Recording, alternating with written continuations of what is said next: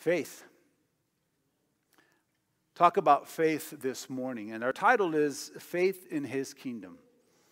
And really, what is meant is what does faith look like in the kingdom of God? What does faith look like in His eyes and in His kingdom? It's not that we have faith in the kingdom, we have faith in Jesus. We have faith in His word. We have faith in what He did, and we have faith in what He said He is going to do. That is where our faith is. And so this morning we're going to look at that because uh, faith is putting your trust, your belief into something or someone. And we all do that. Everybody in the world puts their faith in something, they put their trust in something.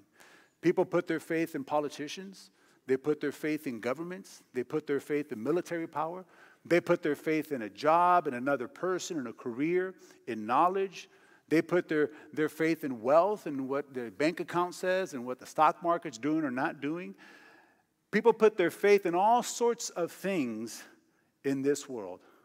But as citizens of the kingdom of God, our faith is in Jesus Christ. Our faith is in Him. This past week, I was out of state for a couple of days on business. Uh, I had to travel, and there was a couple of, of things uh, that I had to attend, but one of the things that I had to do was uh, I had to go get some supplies for the office where we uh, work. And so one afternoon after work, I had to drive a little bit more than I normally expected to, to go and get some things. And I was shocked at the homelessness and the things that were going on. Now, listen, we have homelessness all over the place.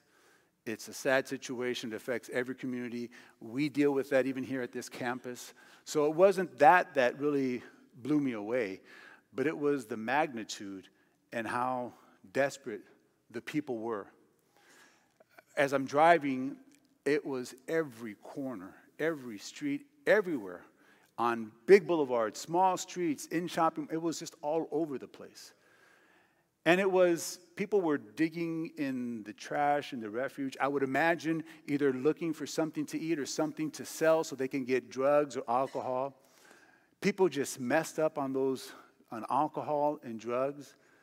And there was folks that were, I mean, so just desperate and messed up. It was just people openly doing drugs. And I'm not, not just smoking, people were injecting their arms and legs and just, just out in the open. That's how how awful.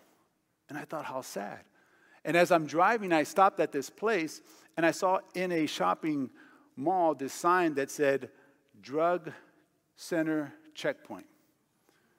And I thought, wow, that's kind of odd. But as I looked into it, it was a place where people could take the illegal drugs that they got illegally into this place without repercussions to have them checked and inspected to make sure that they were safe for consumption. And I was like blown away by that. I said, How is it that we live like this? How is it that we allow people to this? And what, why? Why would we do this? You know, but that's how man tries to help. That's how mankind tries to put laws and tries to put processes and tries to put things in place to help. And it is not really help. That is a sad situation to continue to enable and not provide meaningful, true help that is needed. But that's the world we live in. That's this kingdom. That's this world. That's not the world that I want, and it's not the kingdom that I'm looking for. I'm looking for the kingdom of God. I'm a citizen of the kingdom of heaven. And one day soon, that king is going to come back and he's going to take me to be with him forever and ever and ever.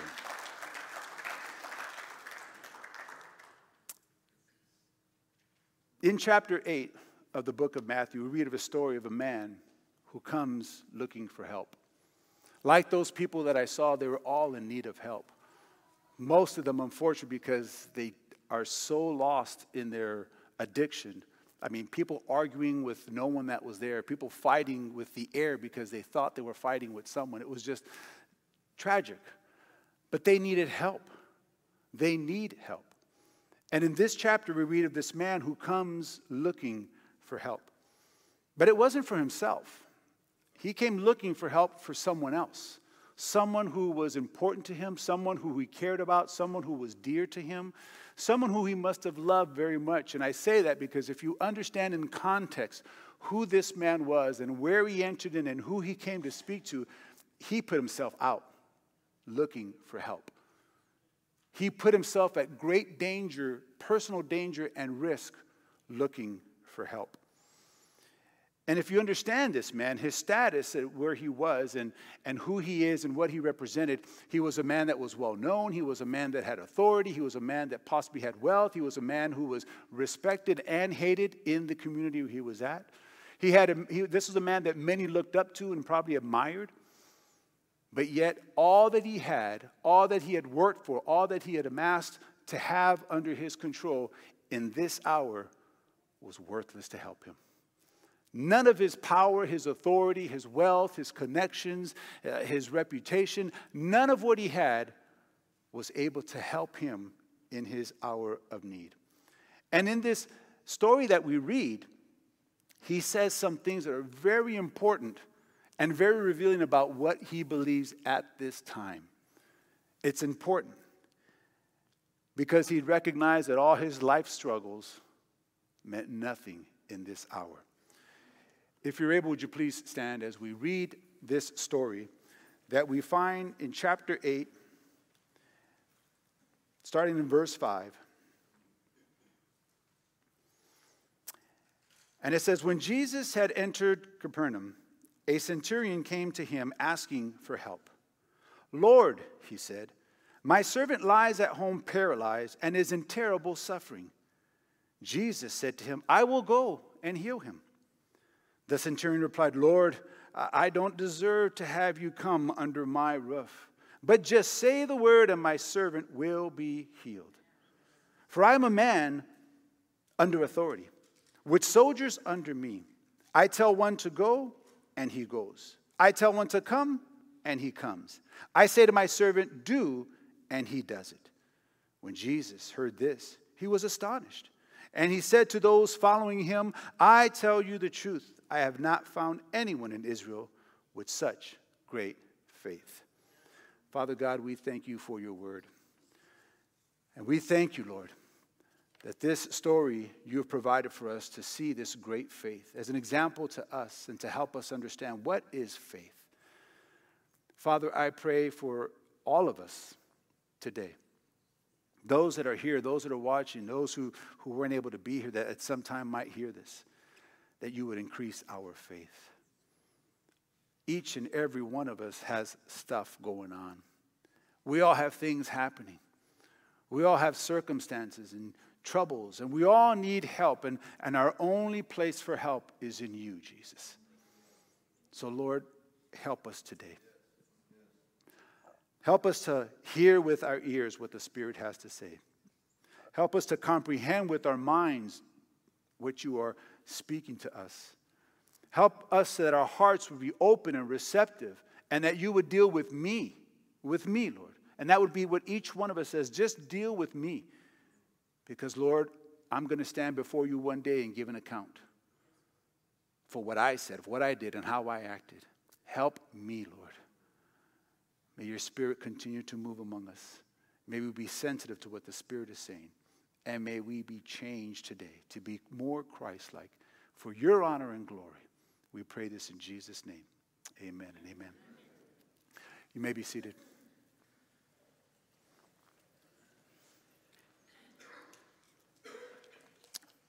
It's a great story. It really is a great story when you look at this story and what was going on and what had just happened. Because what had happened is Jesus had just finished giving what we know as the Sermon on the Mount.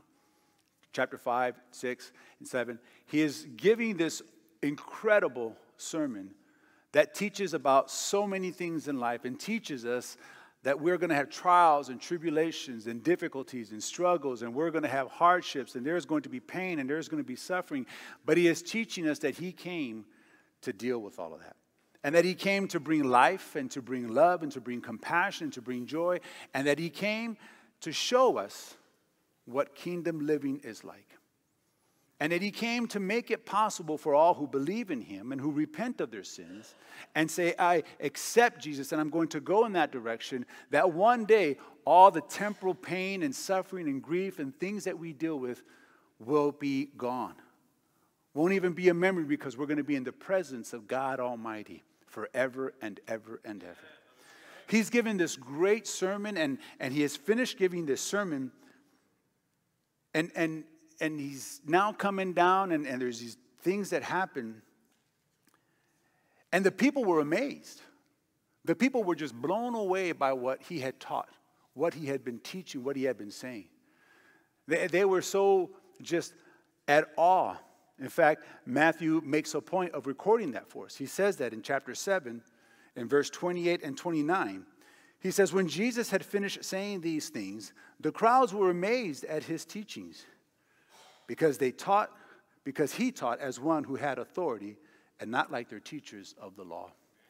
See, Jesus was speaking the law, he was speaking about the customs, the traditions, about life, the things of God, kingdom living, but he was speaking from a place of having authority and having knowledge and knowing what he was talking about if you read this, right, there's a difference when someone talks to you about something they've learned and someone who talks to you about something they lived through and they know.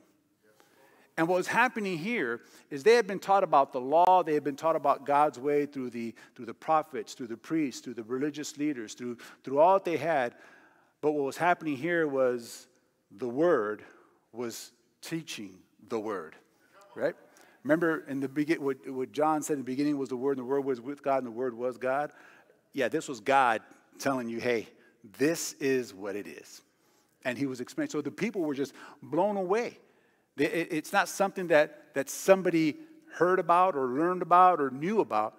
He was speaking about himself and the truth. And we know that. In life, we've been in those situations where we're talking to someone and we know when they're trying to pull the wool over our eyes or when they say, hey, you're like, hey, they, they kind of know about that topic, right? You, you get that. And I've shared this story before because it's happened in my own personal life. And so it's, it's what happened with my children, with my daughter, Sarah. So Sarah played softball. And when she was younger, I was a coach. And for years, I had coached girls softball. And so, and I coached recreation, I coached travel. And so uh, there was one year that I was coaching, and I was, you know, at practice, we'd take a group of girls and we'd teach them how to hit, how to field, how to pitch, going through that. And so I would work with them, and, and I would say, hey, this is, this is how you hit, this is how you pitch. With my daughter, I, I it's my daughter, so I'm going to spend a little bit more time and try to help her. True, we all do it, okay? So I told my uh, Sarah, Sarah, when you're going to hit, you square up, right? Get a good stance, be back, swing, swing through the ball. When you connect, don't stop, go all the way through, it, throw your hands through it, turn your hips, drive the ball. That's where the power comes from. Use your core. So I'm giving her all this stuff, right? And then she was a pitcher. So I would say, hey, Sarah, when you're pitching, when you got that drop off, listen, mama, you got to flick that wrist. Just let that ball roll off your fingers. Just flick it so when the ball, when it gets to the plate, the velocity drops off, and that, that hitter looks foolish because they're swinging at the air. Right? So that's how, and when you do your screwball, make sure you twist your, twist your wrist. So I'm giving her all this stuff. Great knowledge. All truthful. I mean, it's on point. And one day she was so frustrated with me. I remember she threw her glove down. Dad, how can you teach me? Have you ever played girls softball? Guilty on both accounts. Not a girl, never played girls softball, right? So she was very frustrated with that. Some time passed. My wife and I, we got our private lessons with, with a, a wonderful young lady who played college ball and was now doing lessons. And, and so Christina was her name. And so I'd take her, and sometimes I'd participate in the, in the lessons. Sometimes I just sat back. And so, and I knew when she felt really good about her lesson, because on the way home, she would just be telling me, oh, this, that, and then, you know. And one day she's telling me, Dad, you know, we, we did pitching and we did hitting. You know what Christina told me, Dad? She says that when I go to, to hit, I need to square up. I need to get, and she said, I need to throw my hands at the ball and, I got, and don't stop, hit through it. I got to turn my hips because that's where my power comes from. I said, wow, that's, that's great. Yeah. And she says, and then pitching, she said, my, my drop ball, I got to flick my wrist. I got to let that ball roll off, my, you know. And my, my screwball, you know. So, oh, Christina, she's amazing. right? There is a difference when someone is telling you about something they really don't know and when someone who's lived it, right? Jesus was teaching the truth, he was teaching about himself. And so when he was giving this, the people were amazed because it wasn't like what the religious leaders were talking about. It wasn't about what they heard. It wasn't about what, what some story, it was him speaking about him. And it made an impact. It made an impact for the people. But there were people in that group that were just following Jesus, as we said last week, not for who he is, but for what he provided, right? As we said last week, Jesus says, Hey, you, you guys are following me because you see the miracles, but you're following me because you ate the bread. You got full. Your need, immediate need, was satisfied, so you're following me for that. And what I'm coming to tell you is not about just this temporal need. I'm coming to tell you about eternity. I'm coming to tell you about what you really need, not what you think you need. And so the people were, were following him for that. And he called them out on that. And some of the people, because they were living in a condition where it was very oppressive, where the religious leaders were, very, were lording over them and making it impossible for them to live a life that was pleasing to God, where the Romans were just very oppressive and torturing them and making it very difficult for them.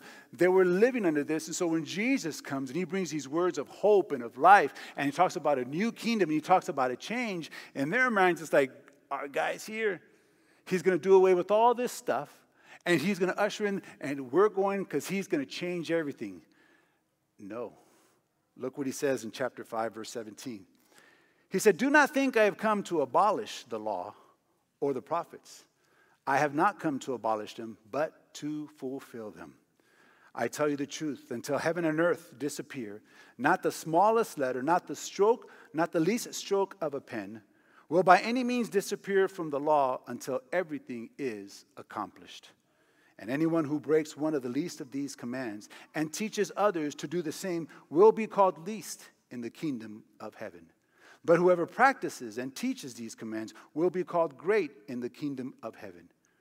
For I tell you, unless your righteousness surpasses that of the Pharisees and the teachers of the law, you will certainly not enter the kingdom of heaven. Think about it. They're like, this guy's coming in, he's on our side, he's going to change everything. He says, No, I'm not, no. I haven't come to do away with it. I came to fulfill it. I came, all the laws and all the teachings and the, the religious practices and the sacrifices, and I have come, it was all pointing to this time, me here now. And I'm going to fulfill all these things. See, Jesus was coming to bring a change that they were not expecting.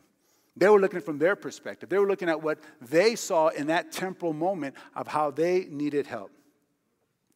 And that's what we do today. Many people today are looking for help for the situation right now.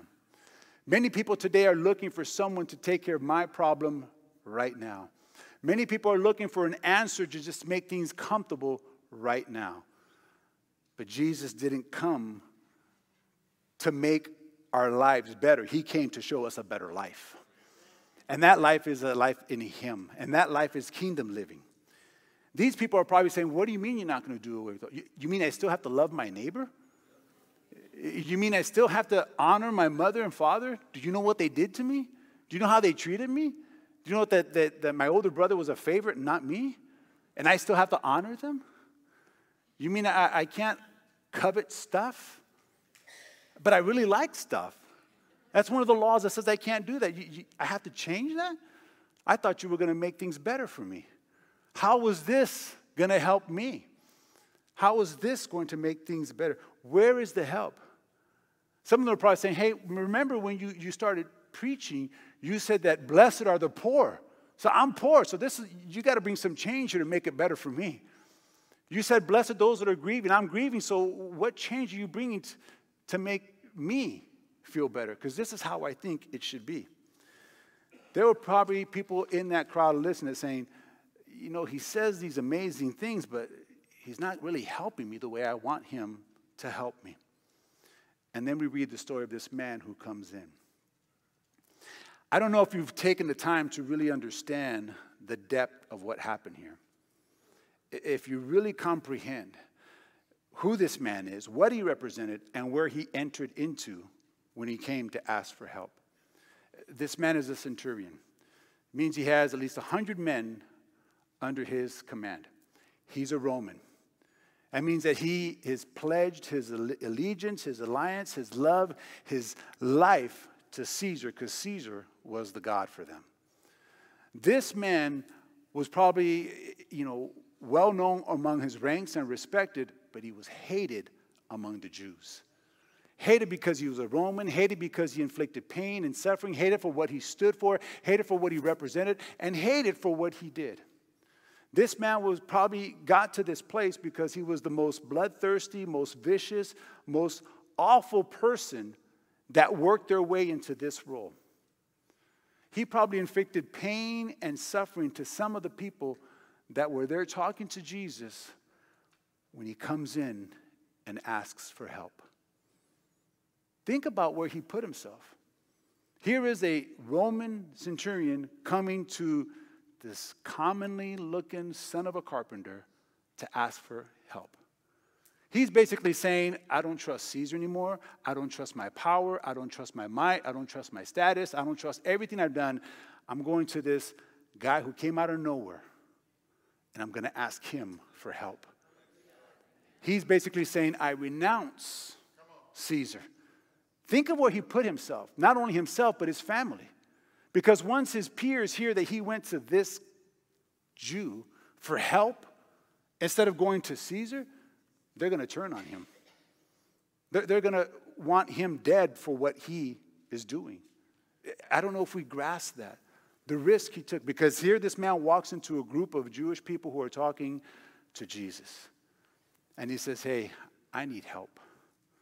I got this situation. I know my status. I know my authority. I know my power. I know what I can do.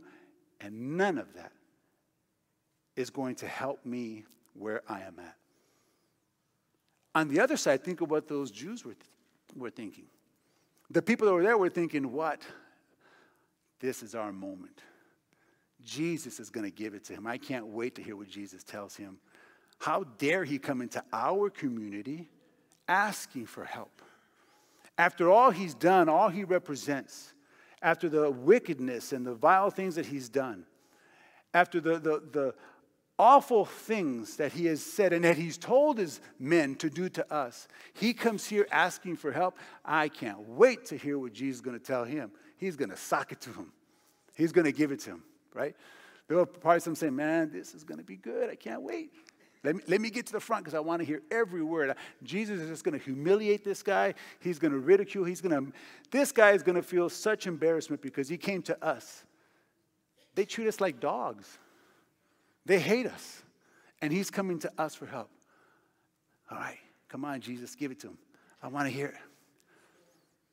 What does Jesus say? Jesus said to him, I will go and heal him.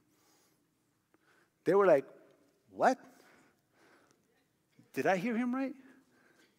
Did, did he say he's going to go and help him? He's going to go and heal him? How is that possible? Some may have said, you know what, maybe we ought to pull Jesus aside and let him know because he says a lot of great things.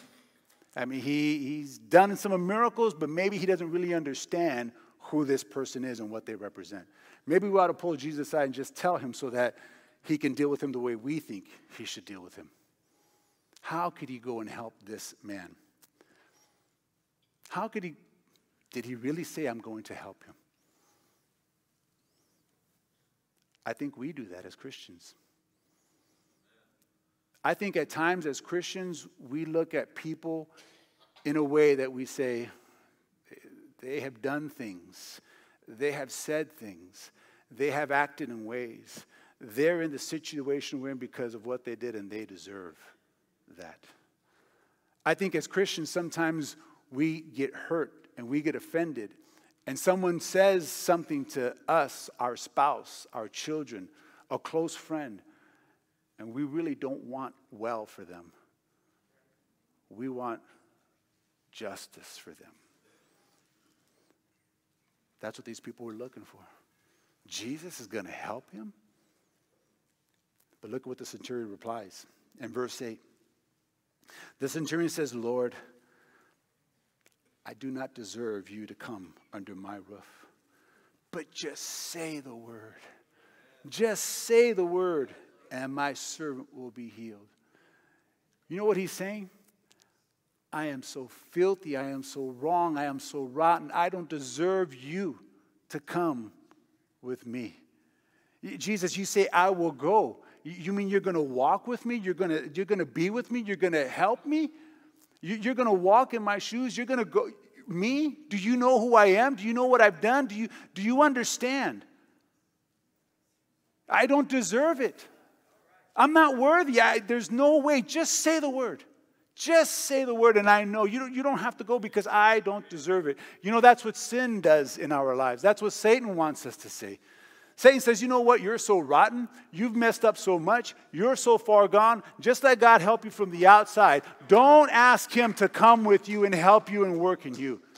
Sin separates us from God. It's happened from the very beginning. From the very beginning, we see that in the Garden of Eden. God, who, who made Adam, said, Adam, you're my son. I love you so much. Look at everything here is for you everything for you. I want you to enjoy it. And, and every day we're going to get together and we're going to have this relationship. We're going to talk about things I want to hear because that's your worship for me, for you and me to get together, to just spend time together. It's all for you. And, and you know what? I, am giving you this partner. I'm giving you uh, Eve who's going to be with you. And you guys, it's all yours. 99% of it all for you to enjoy. Just that one tree. Just that one. Don't touch it. You have everything. You have life, you have joy, you have peace. Everything's in harmony, everything's in balance, everything's for you. We'll get together every day, we'll have fellowship. It is perfect.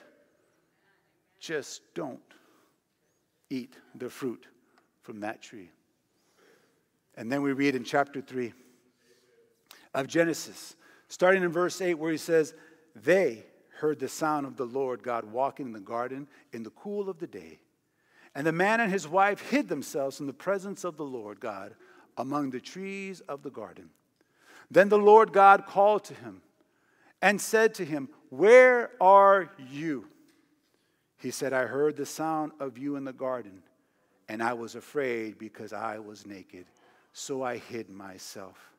Just like that centurion says, I don't deserve you to come to me. I don't deserve you to be in my presence. I don't deserve. I just say the word from where you are, and I know, I believe you'll take. But don't come with me because I am not worthy of it. I don't deserve it.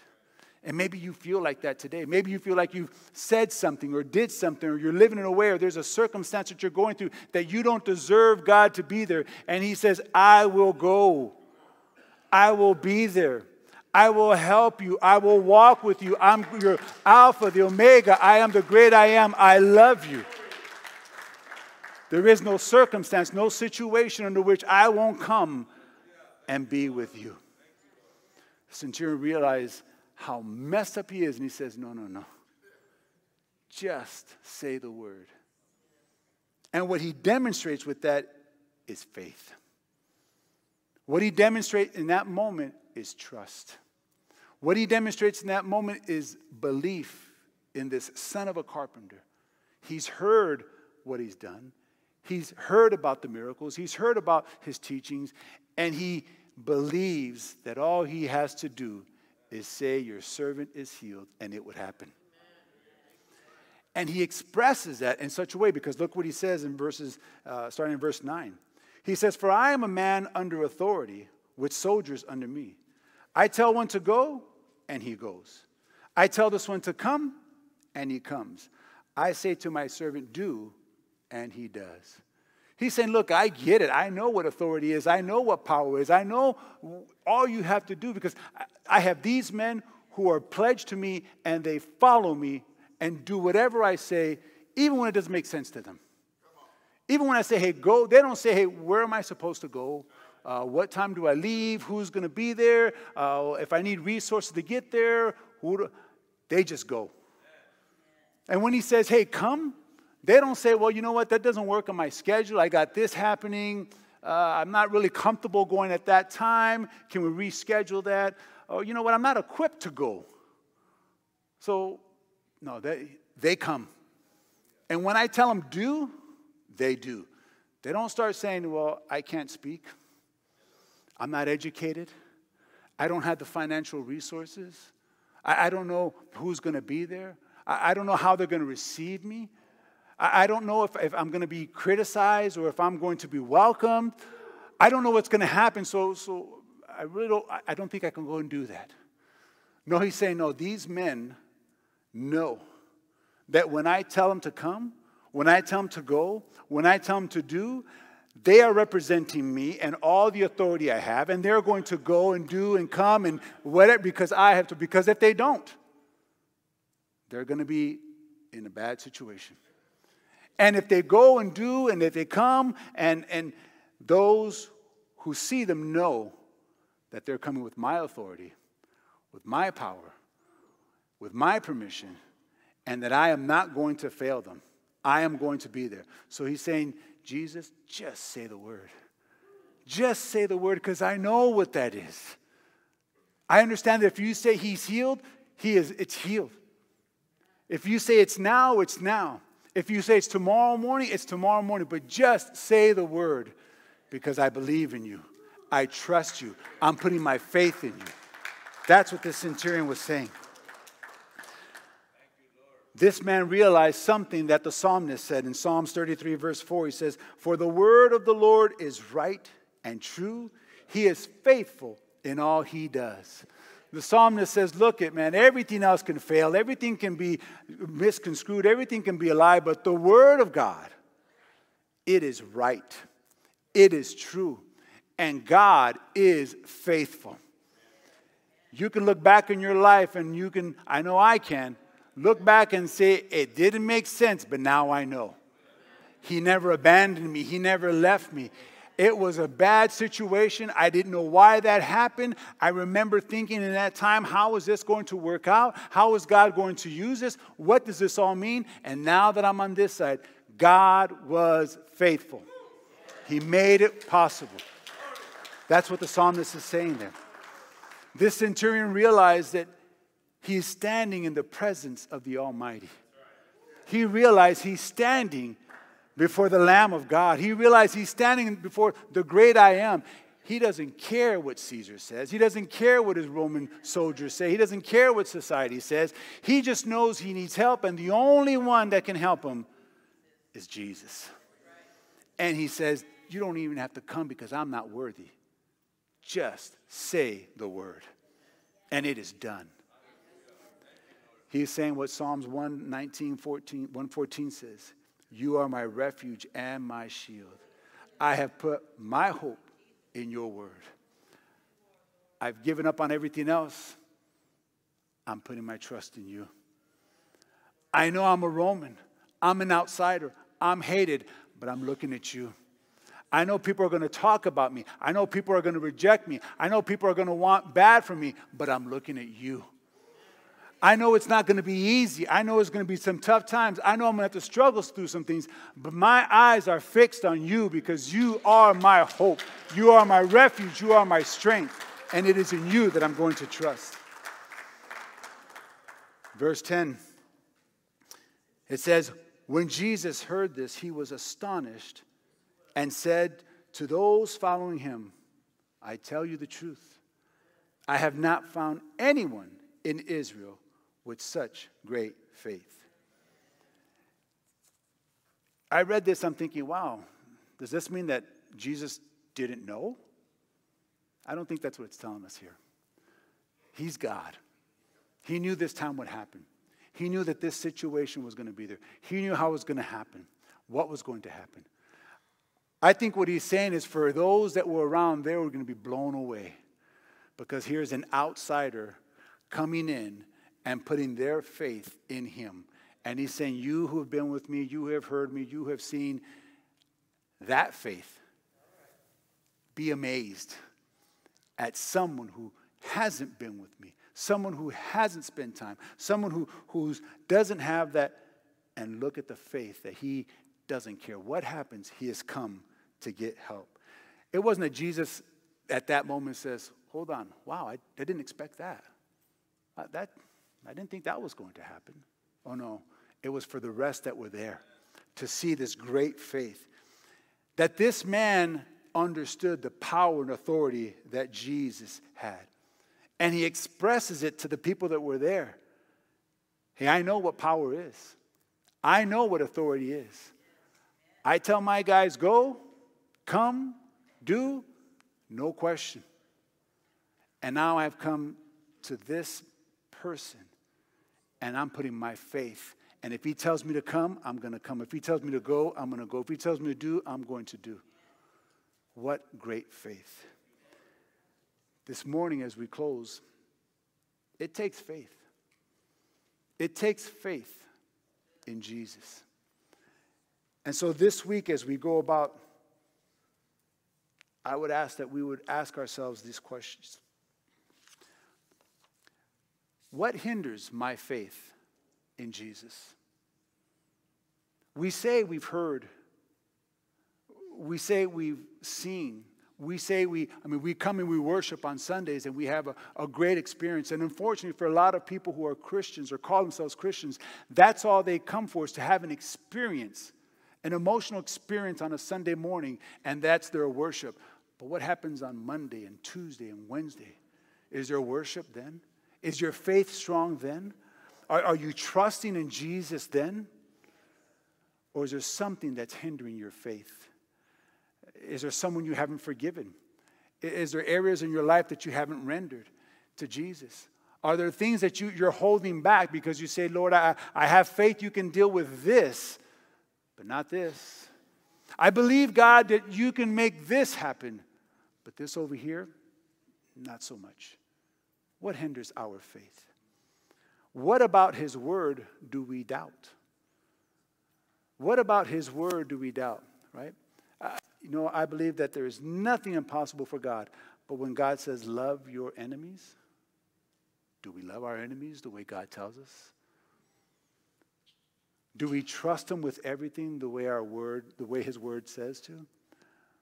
When He says you have to turn the other cheek, is it because you want to get in a position to cock your fist and come back with a stronger hit? Or do we really believe His word?